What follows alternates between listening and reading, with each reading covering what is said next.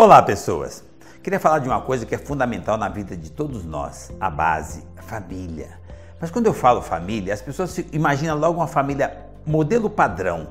Cara, não é isso. Família é muito mais que isso. Família é relacionamento, é conexão, é espiritualidade, é quando você tem afinidade um com o outro. Família pode ser duas pessoas, três pessoas, nada a ver com sangue, tem a ver com conviver, com consideração, com realmente respeito. Quando uma pessoa gosta da outra, não tem nada a ver com identidade de gênero, não, família. Então, se você não tem essa base, se você ainda não tem a sua, comece agora. Imagine as pessoas que você gosta, as pessoas que realmente te ama, que está conectada, que tem a ver com você, que um cuida do outro. Ali você começa a formar a sua essência, a sua base, a sua família.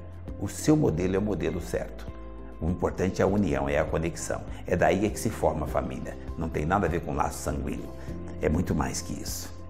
Tem a ver com você. Se você não tem uma, comece agora. Parta de você e comece a construir essa base sólida, que com certeza vai melhorar a trajetória da sua vida. Família. Isso não tem preço, mas dá para você construir um a partir de agora.